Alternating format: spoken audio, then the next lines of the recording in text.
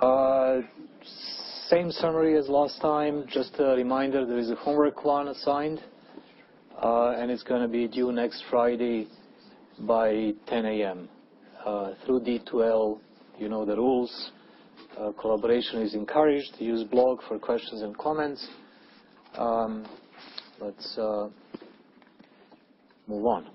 All right. So since we lost um, annotations from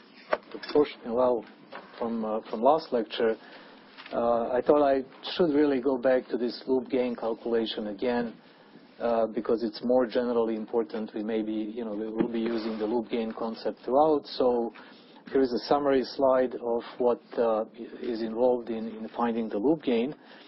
The first point to note here is to identify where the feedback loop is, and that, in this case, is very simple.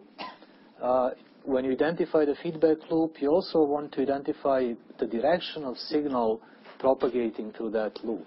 When you have op-amp type circuitry, the direction is obviously from input of the op-amp to the output of the op-amp. So there's very little doubt about uh, about that direction. But that is an item to keep in mind when you look at the feedback system. Yes?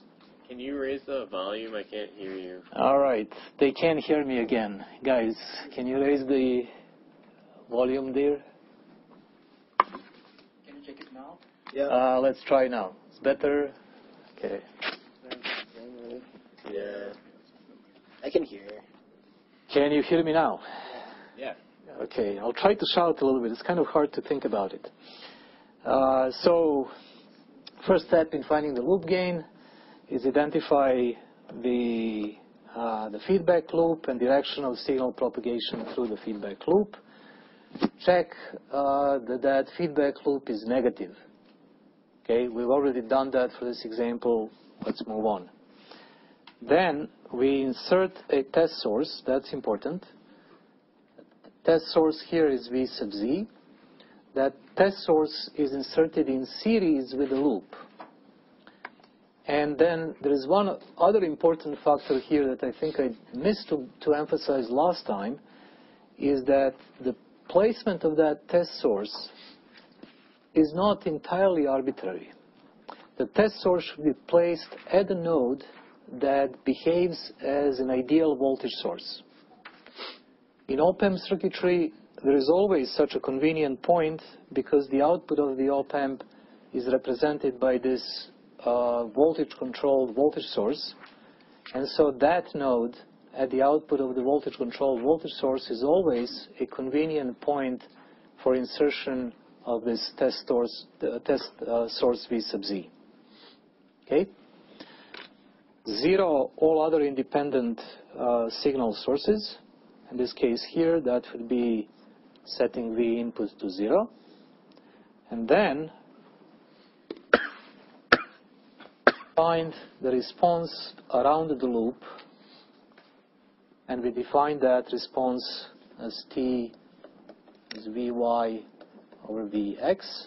And you see the meaning of that response is really the total gain the signal experiences as it travels around the signal path through the entire loop.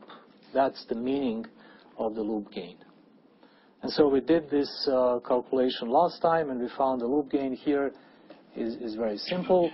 It's equal to this voltage divider, R1 over R1 plus R2 times A naught. That was the loop gain we found for this particular example. So it's just a summary of what we did last time, so we have it recorded on the slide. Um, then we looked at a little more complicated example that includes now an op-amp circuit that is uh, you know, closer to uh, a practical circuit. So it has a non-zero output resistance, it has um, uh, not infinite input resistance, and it has some finite gain, uh, A naught. Uh, and the way you approach analysis of feedback circuits is the following. You know, you First, you identify ideal closed loop um, gain. So that ideal closed loop gain, uh, in this case here, will again be equal to just negative R2 over R1. That gain, is it's output voltage over input voltage under the condition that A naught is infinity, right?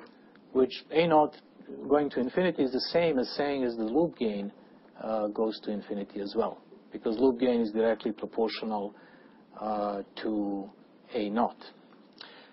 Then you find the loop gain, and we'll do the same approach as in the previous slide. I'll insert a test source right here. Here is Vz. This is what we did last time. Here is Vx minus Vy.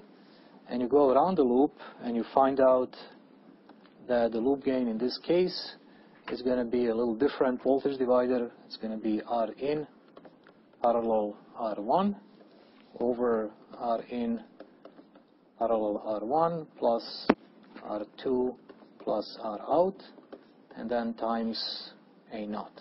Okay, that's our loop gain. It's almost by inspection. You can just trace uh, the propagations of the signal around uh, the feedback loop here and find the loop gain. And then based on this uh, you know, very first simple example, uh, we uh, concluded that there is a structure to the feedback uh, circuit response that we can reuse. There is a more general result uh, that is very useful because it allows us to, to, to uh, find closed loop responses or feedback circuits very quickly. And that closed loop response uh, we wrote in the form of a closed loop ideal times the ratio of t over 1 plus t.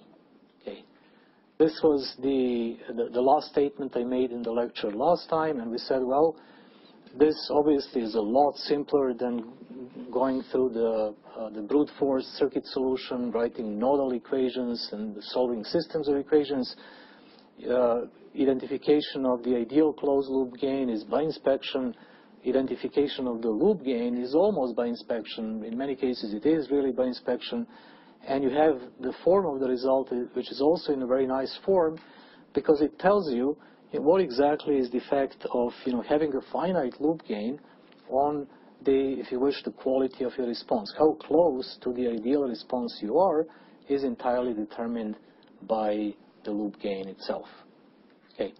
I did ask you last time to actually look at this example and try to practice your circuit analysis skills and in fact try to do an exact solution without relying on this, uh, this formula right here. And uh, I think some of you actually did it, and I thank you very much. I think it was a you know, good blog questions and a couple of really good blog comments. Uh, good work. I thank, thanks to those who participated in that. What you found out uh, when you do an exact circuit analysis is that the actual response in this circuit, V out over V input, is not exactly this uh, part right here. There's something else going on here. So you find that a closed loop can be written in a form that in front has this nice closed loop ideal times t over 1 plus t form, but then has some other stuff. Okay? Uh, the loop gain itself is fine. We, we found it, uh, you know, okay, no change to it. So finding loop gain is perfect. There is no errors in it. But there is something in a closed loop obtained by exact circuit analysis not, not quite following this simple expression that we had, uh, that we proposed as a general uh, expression for feedback circuits. What's going on here? Why do we have uh, this part right here? And why, why is this really not working out fully? Um, the, this expression right here, uh, for those of you who have taken any you know, control area plus, you will probably recognize it. You know, this is the, the type of an expression that you have in, in um, classical control system where everything is represented by block diagrams and where, um, you know, even without mention, there is an implicit assumption that propagation of signal through the, the blocks is unidirectional. Uh, circuits are not like that, right? And so when you look at this circuit here, we said, well, you know, here's the feedback path. You know, that feedback path, you know, in this case here goes like here, right?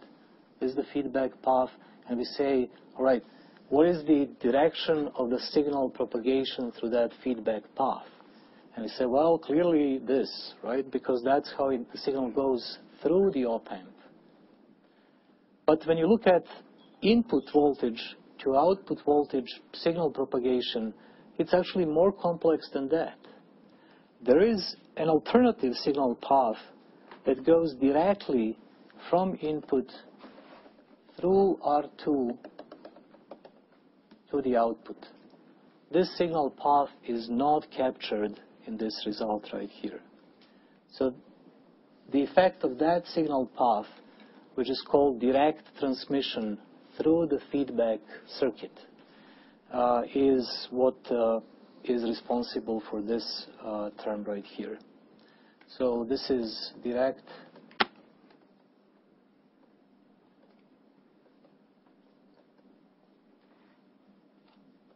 transmission through feedback circuit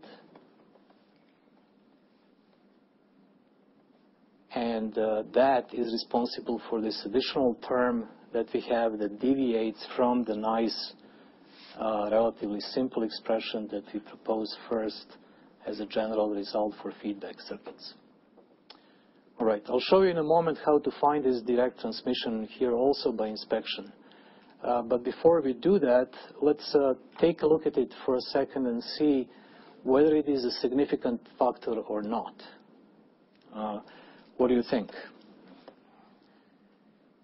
It, well, you know, you, can't really say no flat uh, because it really depends.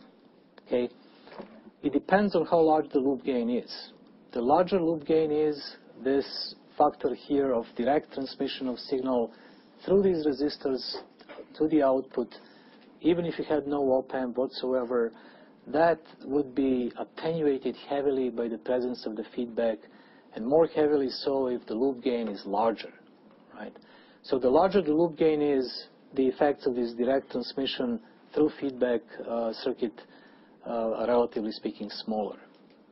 Now, practically speaking, you can also see that uh, the, the direct transmission is going to depend on how large the um, the uh, output resistance of the op-amp actually is.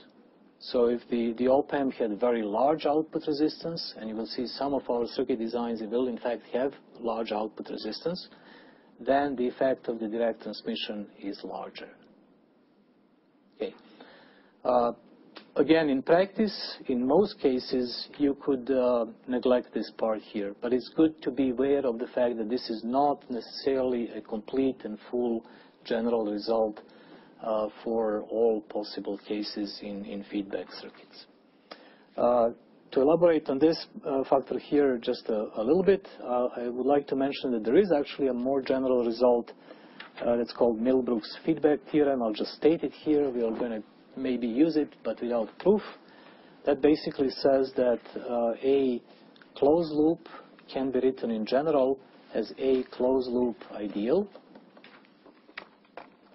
times t over 1 plus t plus this A direct transmission through the feedback path times 1 over 1 plus d, 1 plus t.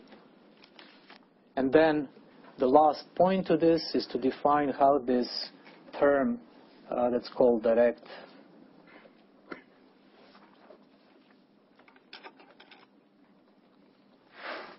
Transmission through feedback path.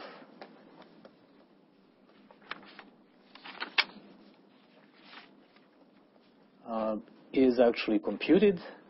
That term right here can be computed in a very simple manner as V out over V input under the condition that the gain of the op-amp is shut down, that the op-amp is no longer active at all. So that's under the condition that A naught is set to zero. Okay. So this is a, a, a quick summary of what is really a general uh, feedback circuit analysis result. In most cases, the front part of it, this part right here, is the one that's really uh, dominant and, and is the most important one. But there can be real circuit examples where the, the direct transmission does make a difference.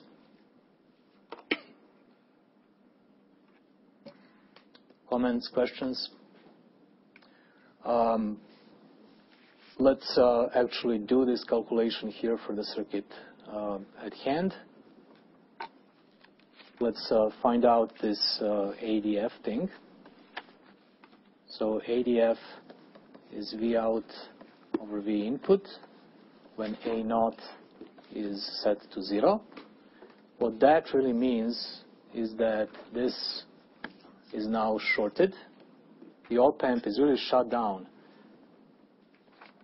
No active op amp. Is basically saying what the circuit passively by itself would be transmitting to the output if there is no active component uh, in it whatsoever. How do you solve this? Well, it is really by inspection, but let me just redraw it so that you can see that it is a by inspection type thing. Here is what the circuit looks like. This is R out. This is R2, R1, R in. Okay, circuit's one type circuit. How do you solve this?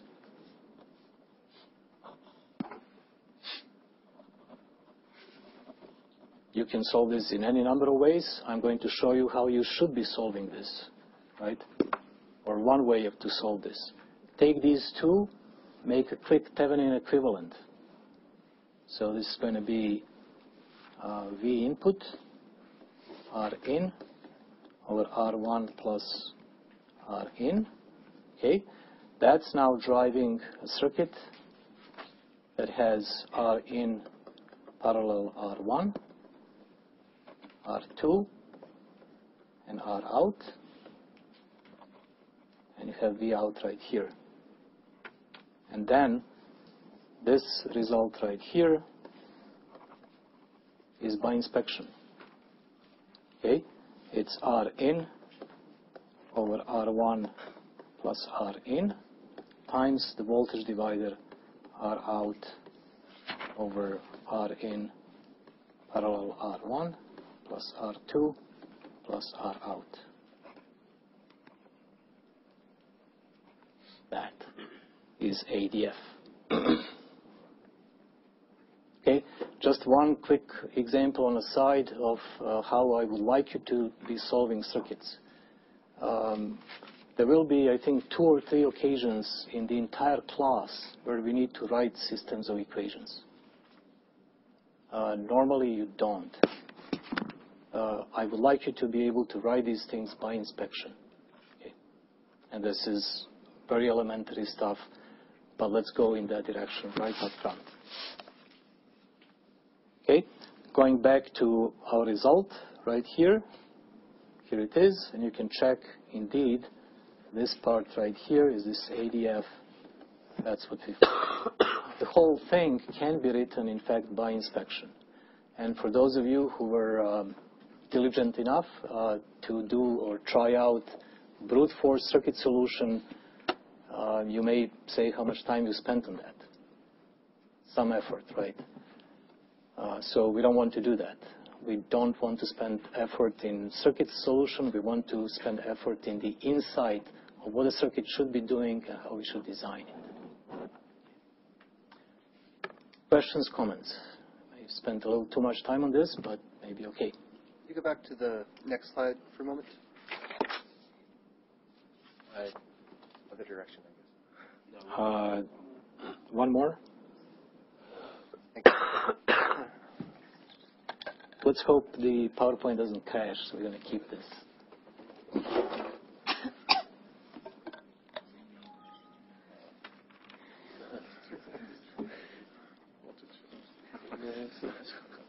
You know what? All right, this is worth a minute, I think. Save it. Save it. I saved it. All right, let's uh, let's move on though. We do have to cover quite a bit of stuff today. Right, the next uh, um, uh, you know couple of bullets we want to talk about here is is the fact that op amp is is non ideal for other reasons. And uh, those other reasons, uh, you know, one main you know, good or, or uh, important reason to keep in mind is that uh, it can only operate over a certain voltage range. That voltage range is determined by the supply voltages. And so what happens when you look at the large signal static transfer characteristic of an op-amp, what you would see is something that looks like this. So what we have right here is the differential input voltage. And what we have uh, on the vertical axis is the output. Right, so how output depends on the the difference between the plus and minus inputs. And so what we see there is that, of course, for small differences in the input, right, these are tiny differences in the input, we see this really steep characteristic. The slope of that characteristic is going to be equal to A naught. That's our open loop gain. What are the values we are actually talking about in terms of open loop gain? What is realistically feasible in terms of open loop gain? What do you think? What is the order of magnitude of this A naught? If you pick just some cheap commercial op-amp, what are the numbers that we see there? Raised to six. 10,000. 60 dB. Very large numbers. You know, at least thousands. In many cases, tens of thousands, hundreds of thousands. 10 to the fifth, 10 to the sixth is fairly easily uh, available. So let's say 10 to the fourth, 10 to the sixth, very easily available. We'll get to the point of deciding how actually do we get this uh, enormous amount of gains. You know, this is really interesting uh, how to actually get there. But it's that's entirely possible. This is really, really steep. But of course, it's steep only up to the, what the circuit is capable of doing. There is no way the output can possibly be greater than the positive supply voltage or less than the negative supply voltage. No question, right? In fact, in most cases, those output voltage limits are more restrictive than the VDD and minus VSS. So the range of output voltages that are achievable on the output of the op-amp is called the output voltage swing. So output voltage swing is an important characteristic, and that output voltage swing is, really is defined by the range of voltages where the op-amp does have the steep characteristic with large amount of voltage gain. Why do you think this output voltage swing really matters? You know, who cares, right? Uh, how, uh, you know, whether, what is good? You know, it's good to have as wide output voltage swing as possible. But why? Why exactly? Well, you need to know the behavior of your device. I mean, for example, if it's an audio application, you need to know what are you driving in. Yeah. You need to know well, you need to know what it is. You need to know how large the voltage can go up and down, right? But why uh, Why do we think of this as being something that's an important uh, characteristic to to try to expand? What is the best we can do? The best we can do uh, is to have the out max, the maximum possible voltage of the output be approximately equal to VDD. Uh, and the the best uh, possible minimum voltage, of course, is approximately equal to minus VSS. You know, having these things here close to VDD and close to minus VSS. This, by the way, has, a, you know, if you have, if your circuit does have this characteristic, then it's called rail-to-rail on the output side. This is a rail-to-rail op-amp on the output side. That term is an important term.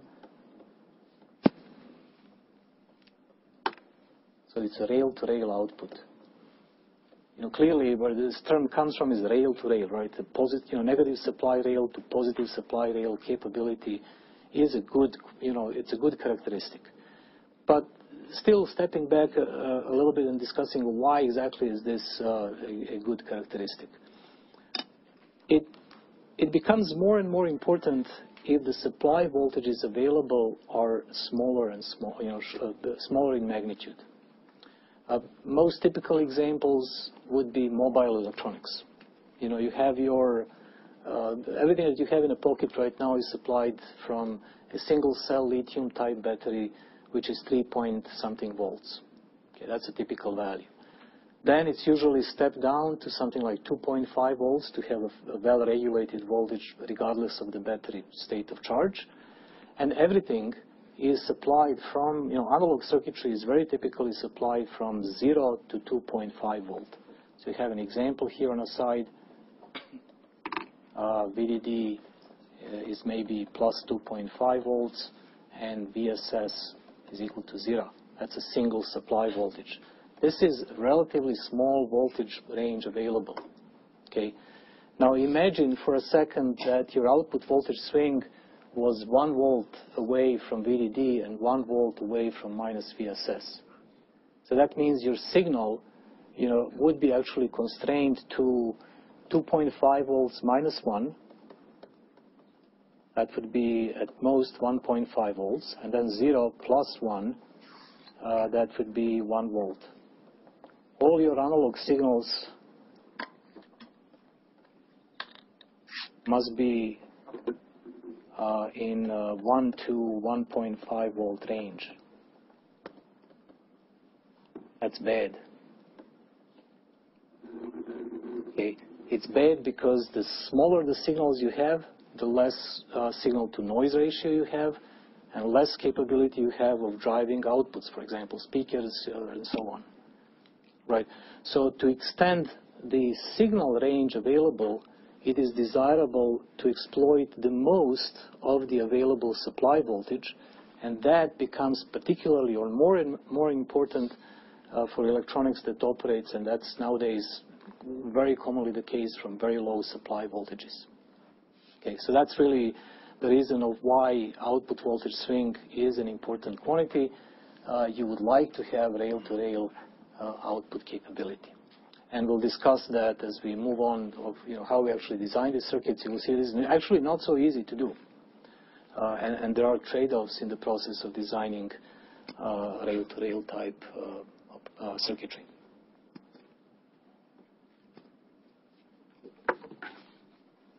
Make sense? Another application example. We're going to do an analog integrator here. Uh, you will see where this example is going in just a moment. But first off, uh, I want to use this example also to talk about the frequency responses for a second. Uh, I'm going to assume here on a side uh, that V output is inside the output uh, voltage range, right? So this is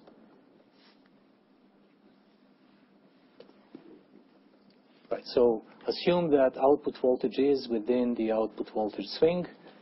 Uh, which really means that A naught is very large. Okay? And that really means that we can say that uh, V out over V input is approximately uh, a closed loop of S. Oops.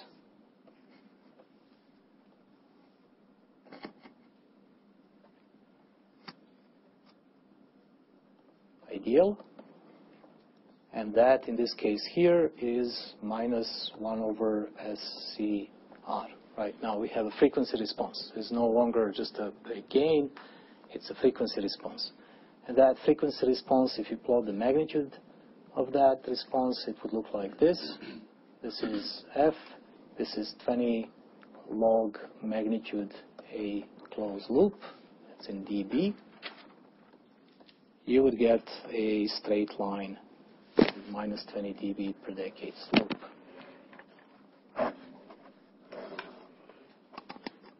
We'll get to discussing frequency responses in a lot more detail later on. This is just a hint that you need to refresh your memory and skills in you know, doing frequency responses and plotting magnitude and phase responses. Up, upfront warning. Um, all right. So now, the, let's suppose the gain is not um, um, you know, infinite, um, but let's say still keep um, keep output uh, output resistance is relatively small, right? So let's say finite uh, A naught, some other color, finite A naught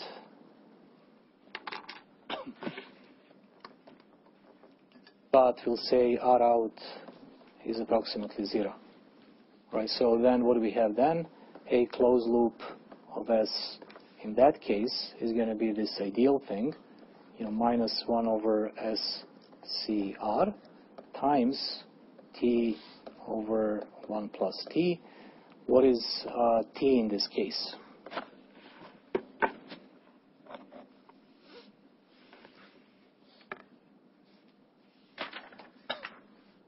A, A naught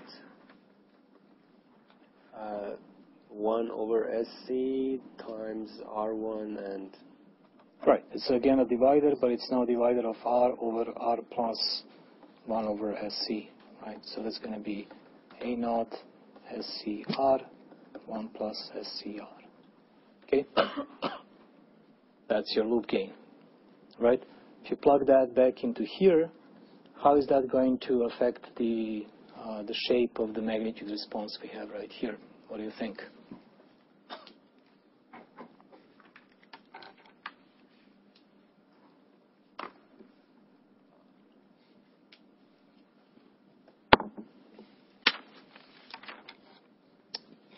So you, have two paths here. One is to just do a quick algebra and figure out what happens.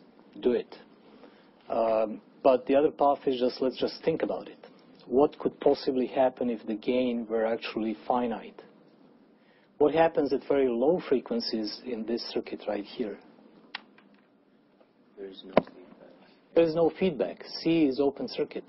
Really, you're applying V input to the minus input of the op amp, and that's the output. The output over the input at very low frequencies is simply going to be equal to A naught of the amplifier itself. That's just really, that's really all that happens. With a finite value of A naught, all we have is the finite gain at low frequencies. This is 20 log magnitude of A naught. That's it. That's the only difference we have, uh, you know, and the rest is very much the same as we have for uh, high loop gain. Okay, so that's what happens, right?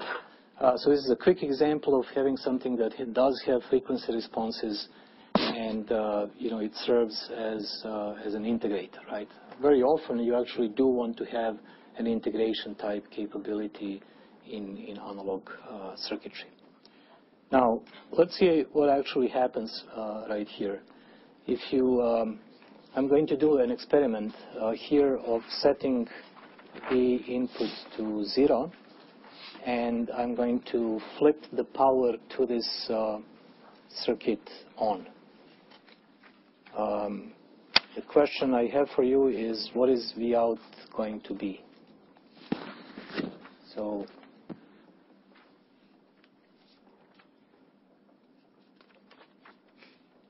right, flip power on, everything was discharged, the capacitor voltage was zero to start with. Flip the power on, there is no input voltage, this is tied to ground, and the, the question is what is V output?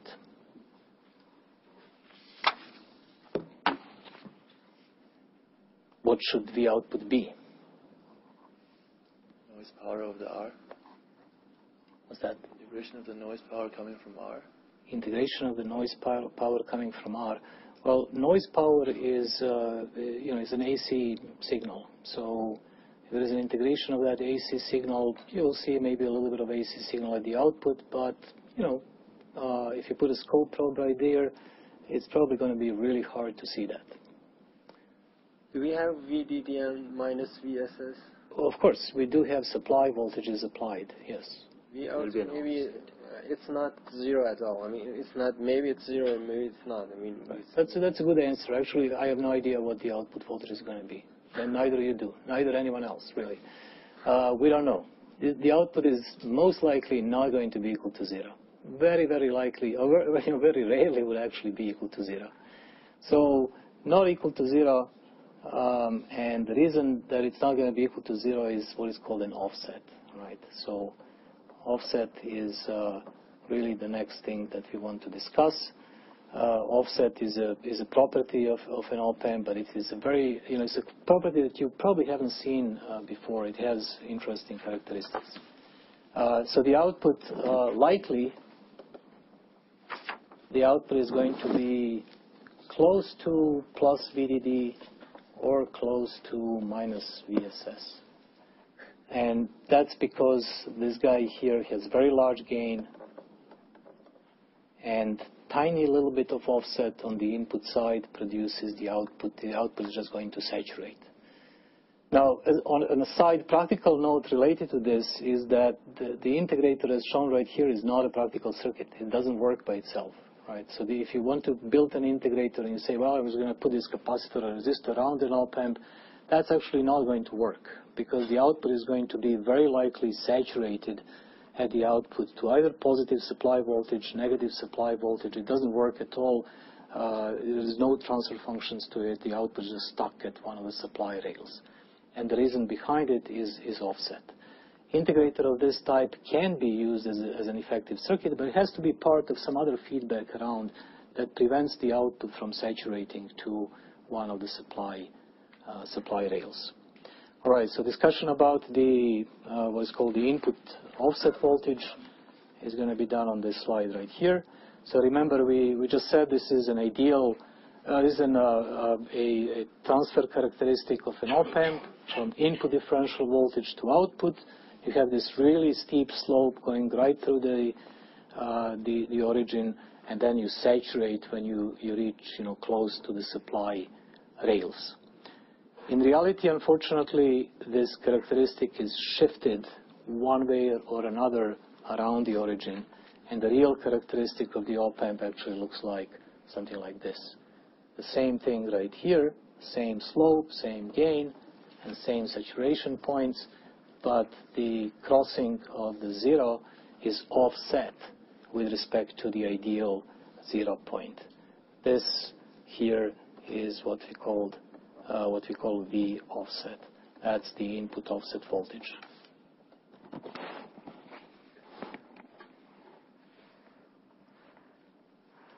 All right. Now, if this, well, first of all, why do we have this? There's a million reasons we have that. In fact, we'll actually discuss them in some detail when you see how the actual circuitry looks like. But in, in short, input offset voltage is a result of mismatches in the internal circuitry of the op-amp between the plus and minus side. Ideally, those circuits on the plus and minus sides are exactly the same, ideally matched. But that's impossible. You cannot possibly have something that's exactly the same on two sides. And because of that slight mismatch between the circuitry on the minus side and the plus side of the op-amp, the resulting characteristic has a built-in offset to it. Yes. So is the offset something that's going to be unique to each device that you get, or should it be unique to the design itself? So do you have to test for it if it's going to be something sensitive in your design? I'll, I plan to talk about what it is in, in the next next one. So what you know the, the key point to understand about the offset is that it is a random quantity.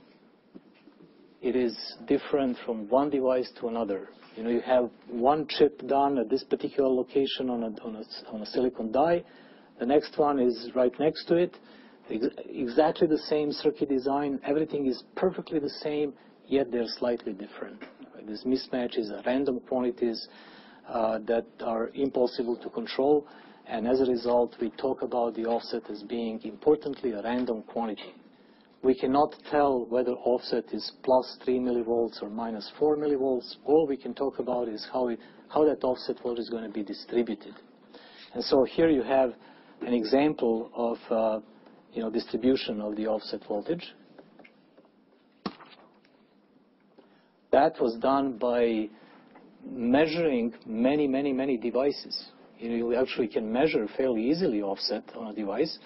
And you measured it, so, you know, some devices have offset of 0.9 millivolts, some devices have offset of 0.5 millivolts, some have, you know, 0.1 millivolts and so on and, and you put a histogram together that shows how this offset is distributed, and then the characteristics that you put in, in your data sheet include uh, what is um, called the typical value, uh, so that you can say that V offset is less than or equal to this typical value of 0.5 millivolts or greater than uh, you know 0.5 millivolts for a certain percentage of the devices.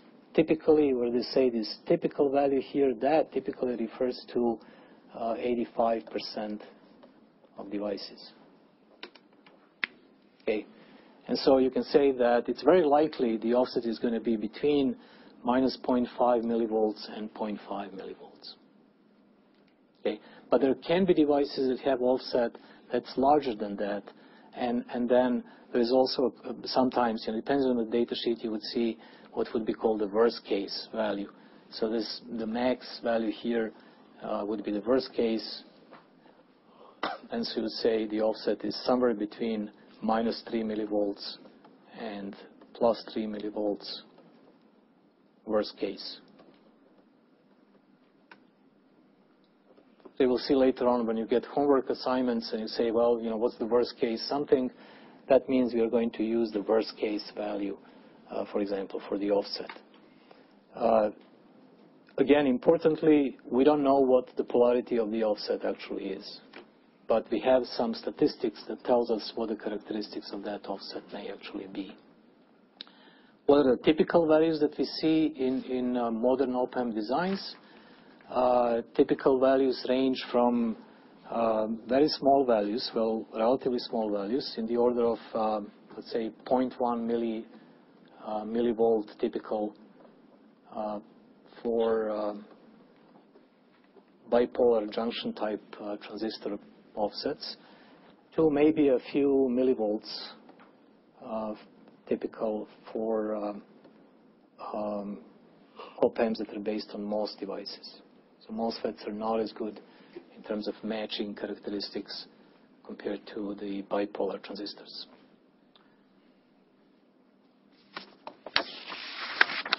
Okay, so going back to now how to actually include this offset in our circuit analysis, uh, a simple way to include um, an, an offset is to actually place explicitly a voltage source equal to V offset in front of one of the, the inputs of the, the op-amp. So uh, this is along the lines of modeling op-amp more realistically. So if you have an op-amp on a side here, this is a real component, right? This is a symbol for the real component. You model that component as a component that has zero offset inside, and then you explicitly pull out the voltage of the offset in front so you can circuit-wise evaluate the effect of the offset on, on your application. Let's stop here for a second and see if this actually makes sense. You know, go back to uh, you know the way we said the actual characteristics look like. Right? So you see offset is really representing the shift with respect to the point in the characteristic where you have this steep slope passing through zero.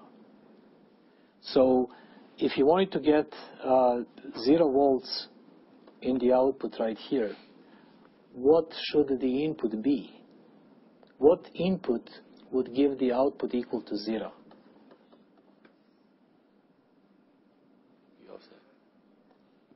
V offset, right? So if you actually had an input voltage right here, that input voltage equal to V offset, that would give V output equal to zero.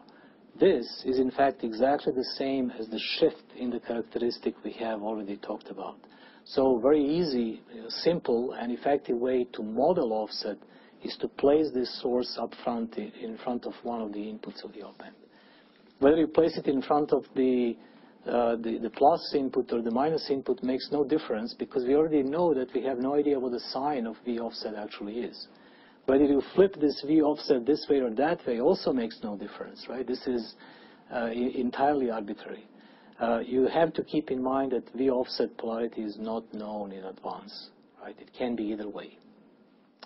All right, so let's uh, go back and revisit our uh, our integrator right here and place uh, V offset right now. And then we can actually explain, you know, why the output voltage is going to be uh, likely going to positive supply voltage or negative supply voltage. Uh, let's suppose V input is equal to zero here for a second.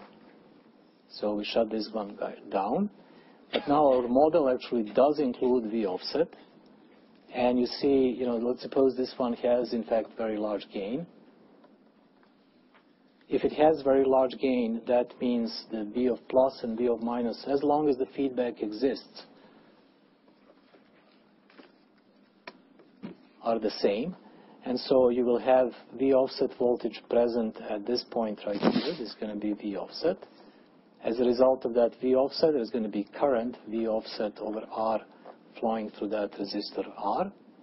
That current has no other place to flow but through the capacitor, so that current is going to be V offset over R.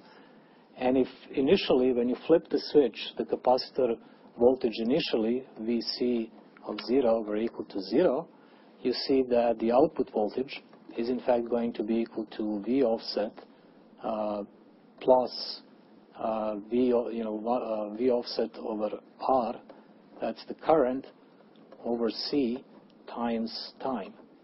The output voltage as a function of time is going to ramp up or ramp down depending on the polarity of the, uh, of the offset voltage, and that ultimately is going to go to either plus, you know, close to plus VDD or close to negative uh, VSS, depending on what? Well,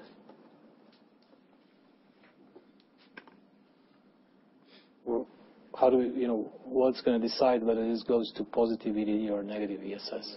The polarity of offset, right? On the polarity of. All right. That's that. Um, once the output voltage hits one of these limits, the output is going to get stuck there. There's nothing to return it back. That, that's the end of it. Can we fix this? Yes. How?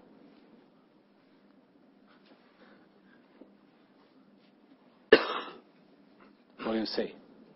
What, how would you fix this, right? This, this you know, stupid voltage offset inside. It makes the whole thing doesn't work well. What can we do to uh, counteract uh, this in some way? Can we do a circuit design that counteracts it?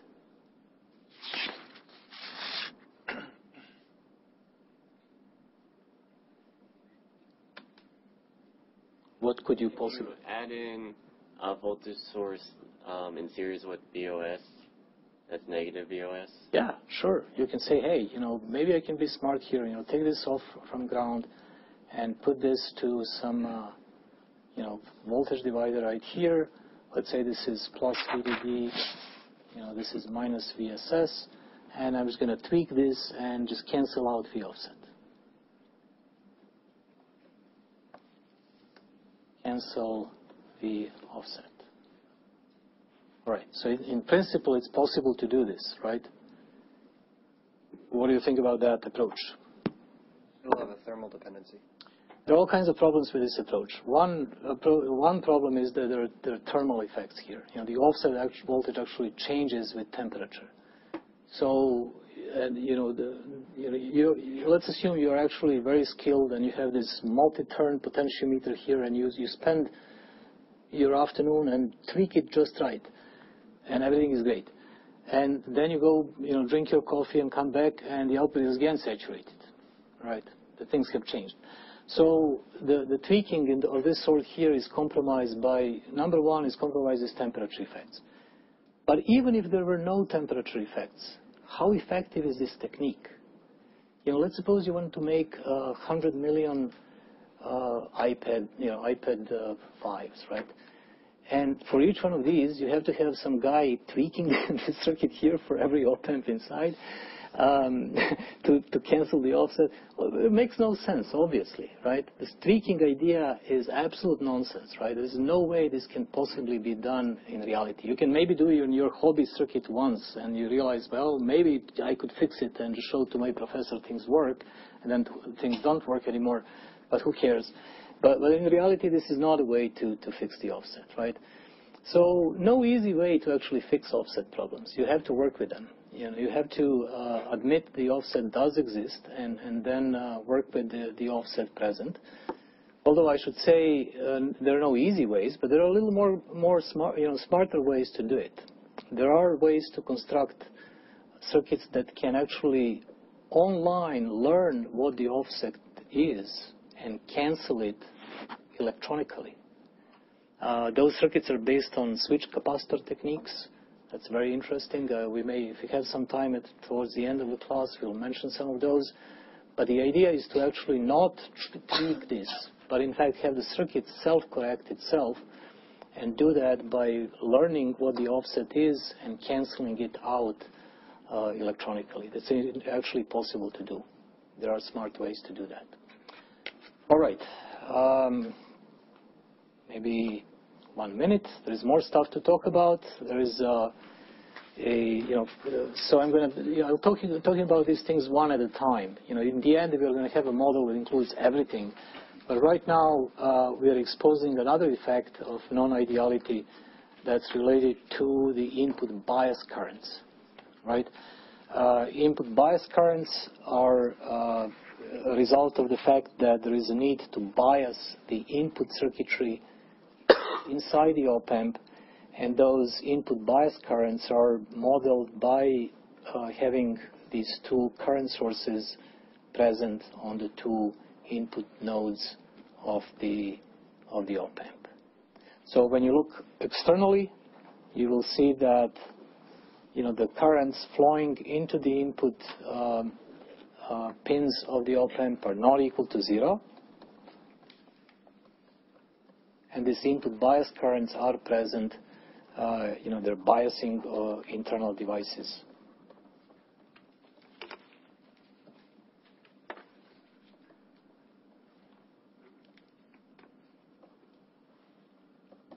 Uh, biasing of op-amp internal circuitry. The, the, the, order of magnitude of these guys here depend on the technology used to, to make the device.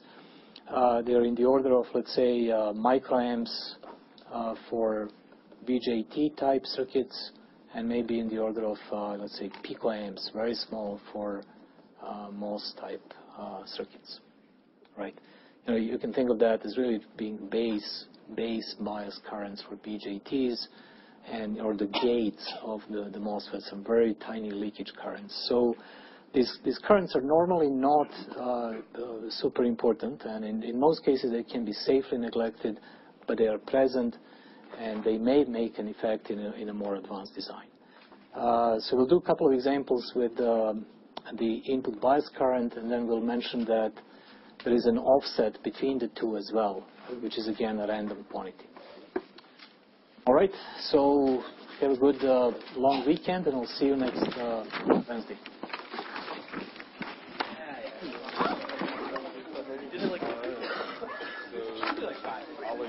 Tell